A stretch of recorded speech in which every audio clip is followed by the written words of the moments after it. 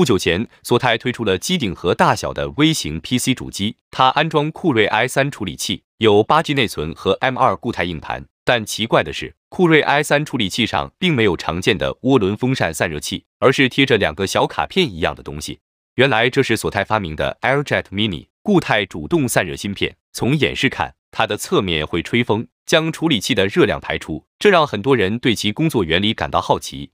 从外观看，该芯片长约四厘米，宽约三厘米，厚约二点八毫米，外表贴了一层塑料外皮，外皮顶面贴着四条滤纸作为吸气的空滤。揭开外皮，发现该芯片是被一个用来导热的铜质外壳包裹，用底面来传导处理器的热量。其三个侧面封闭，只在一侧开着排气口，外壳里套着一个四连体的金属部件，就是它的核心装置。该部件由四个相同的单元组成，每个单元顶面都有一个进气槽，通过外皮上的滤纸吸气，而单元底面两侧有很多长条形小喷口，会向外壳的导热面喷射冷空气。将其中一个单元切开，发现有很多高度不足一毫米的微小装置，整齐的安装在喷口上方。取出一个观察。可见该装置有两个机台，上下部各穿过一个贴着压电陶瓷的柔韧金属片，给两片压电陶瓷的上下面都施加电压，则上侧的陶瓷就会发生形变，缩短变厚，迫使粘接的金属片向下弯曲；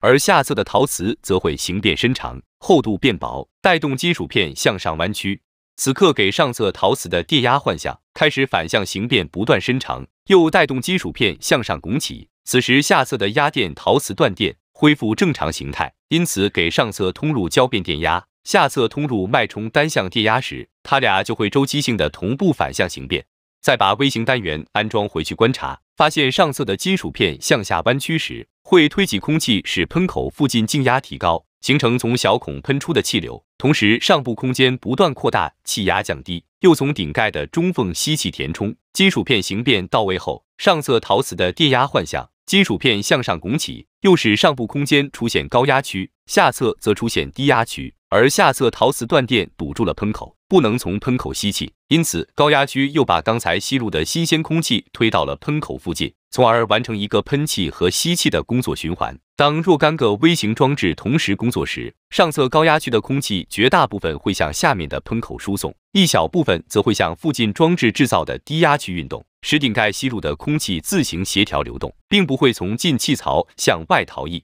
因此每个单元的顶盖缝隙只会进气，而喷口则以高频率脉冲喷气来冷却底壳。据说其散热效能可吊打风扇，这又是为什么呢？原来风扇的气流平行吹过散热片时，由于空气的粘性，会形成越靠近散热片表面流速越慢，最后几乎静止不动的气流薄层，也就是边界层。层里的空气虽然接触热源，但对流缓慢。要提高散热速度，就只能增加风扇转速，通过给主流提速来带动边界层加快运动。因此，这只是隔靴搔痒式的散热。而单元的喷气口，则是把均匀分布的喷流垂直吹向间距不到一毫米的底壳，气流在热源处直接撞击，形成散热的对流，并使底壳内的静压升高，又将热空气从侧面开口推出。这种近距离垂直喷气的强制对流散热效果，远超过风扇制造的缓慢边界层。虽然四个单元总功率只有大约一瓦，但可让带着五瓦热量的底壳保持室温，同时工作噪音只有二十一分贝。